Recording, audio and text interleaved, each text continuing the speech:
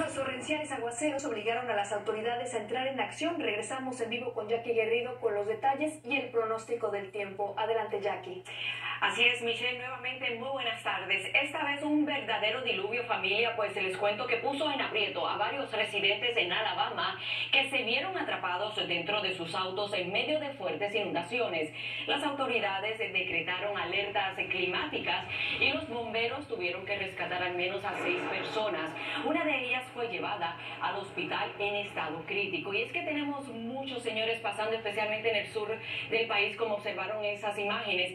Quiero comenzar con el contraste que tenemos de costa a costa, todavía en el noroeste del país. Estamos experimentando condiciones invernales, especialmente sobre Denver, Colorado, donde tenemos un sistema que está generando nieve. Hacia el norte de este sistema, actividad de fuertes lluvias, así que los avisos y alertas están a la orden del día, especialmente para ustedes sobre Kansas por tormenta invernal. Acumulados hay una gran posibilidad. Mientras tanto, desde el norte, parte central y oeste de Texas, tenemos aviso por fuegos forestales. Así que este sistema se va desplazando durante las próximas 24 horas, afectando desde Nashville, ustedes en Tennessee, todo el centro del país. Por aquí hacia el sur, seguimos con el riesgo hasta de tornados durante las próximas 24 horas, desde Luisiana para ustedes hasta Wisconsin. Así que condiciones bien peligrosas, inclusive hasta el fin de semana para el área triestatal.